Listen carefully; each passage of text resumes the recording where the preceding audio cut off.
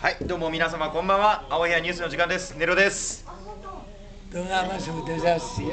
はい、えー、本日のですね月曜シャンソンコンサートのお客様は神月美智子さん、そして山田優さん、そして美奈子さんのお三方でございました。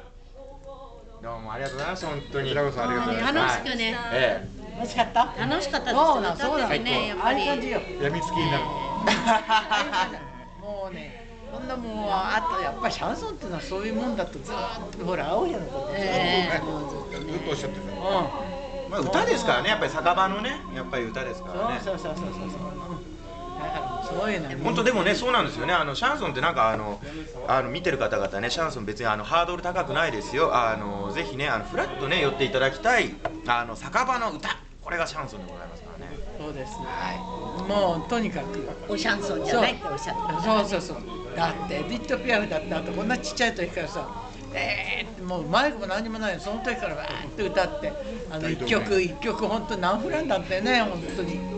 そうやって生計を立てておりました。私もそうやって生計を立てておりました。い、はい、河原小敷の戸川さんですね。はいそういうわけで。はいではそういうことでですねちょっとあのお一人ずつあの今日のねねあの一言いただきたいななんて思ってますんで山田さんからどうぞ。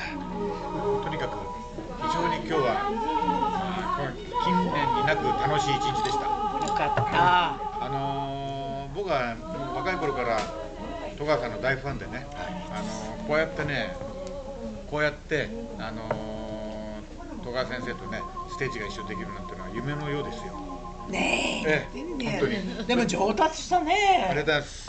いやそれはあなたのおかげだ。えありがとうございます。指導がね本当に。今日はね、やっぱりあの山田さんと美奈子ちゃん。うまたムチ持ってんじゃないの？雨より無知のが多いかもしれない。トゲのある無知ですよ。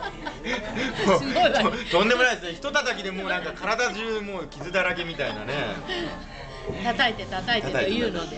喜んでんじゃないですか喜んでゆうさん。最近ね趣味が変わったのかしら。あまずかったかなこれ。はい、これがねあのあの酒場の会話ですんでね大人の会話でございますはい。でも本当に長いねお付き合いで。あのーねさっきもねお話したんだけどあのお花見っていうとね昔のゴミ袋は黒かったんですよ。そのゴミ袋にねみんなで入ってねそれで首だけ出してね飲みたい時に手だけ出してね。それであのもうんエアモントホテルなくなっちゃったけどあの千鳥がうちでね。千鳥がうちやった。ねええもうもうなんかご覧光の。やりました。僕は誘われたことないのそういうね、そういうお付き合いだからもう歌ってても楽しくてね。ね。楽しいでしょ、ええ楽しいです。そういうね。昔のゴミ袋は黒っていうのはいいでしょ。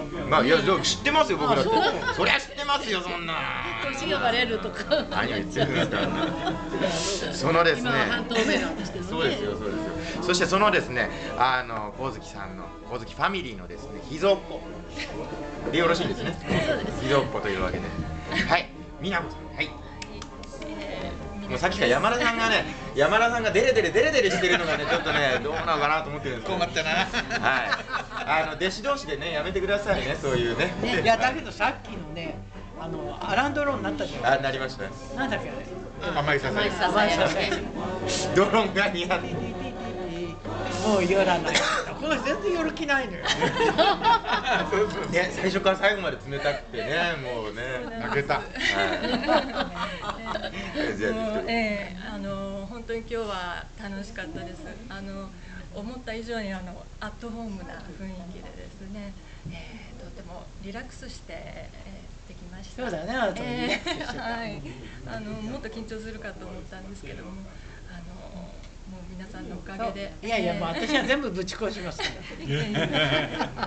あれがあるからいいのよね。とってもね本当何十年ってね戸川さんのトーク聞いてても飽きない本当飽きない。同じようなこと言ってんだけど。本当飽きない。もうそれちょっと違うんだよそれも完全にあのファンですよファン。はい。本当に戸川先生のお話面白くてあのあのテレビで拝見してた時からもうテレビの前で笑ってたんですけども。あのその戸川先生とねいやまだ行き急がないでくださいね。まだねねこうなるまでにはねまだ時間置いていいんですよ。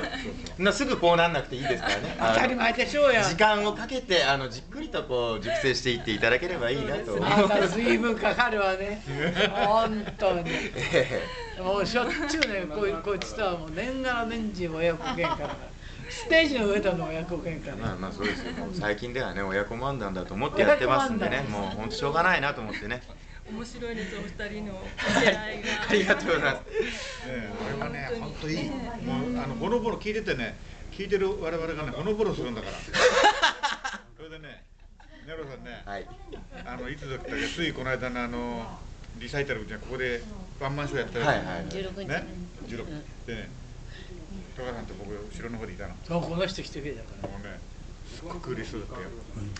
本当に。らだって初めてなんだもんあのおかまになったの、はい、もうちょっとあの すみません、もう親戚のね会話みたいになってきてるんで、はい、えーそういうわけでですね、あのでもね違うんですよ、あのね次回の私のソロコンサートも7月にございますのでね、ぜひその時にあのこうぜひファミリー皆さんで来ていただければなと思ってます。任しといて、ね、女連れてきてください。秘密の女秘密の女を秘密の女を連れていかな い。というわけでですね、あの神月さんまた次回のあのご出演の日はですね、9月。9月。の第4月。9月の第4月曜日ということでございます。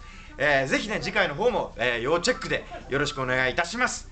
えー、そういうわけで本当に今日はあそれからあなたのほらいつやるっていうの言ってごらん言ってごらあん7月7日はい。にラテンの方で、あの七夕。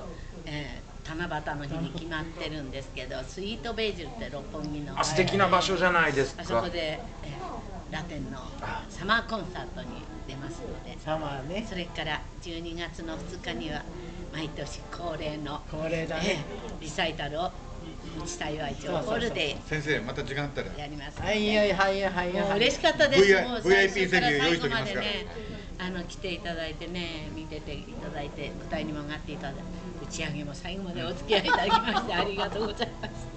嬉しかった。幸せです。そういうわけであの七夕の日と12月、えー、2日でしたっけ？はい、2日、えー、小月さんのね方よろしくお願いいたします、えー、そういうわけで月曜シャンソンコンサート、えー、今週もどうもありがとうございました。次回もまた待ってます。よろしく。月曜日よちょいと。ありがとうございます。あ。りがとうございます。ありがとうございます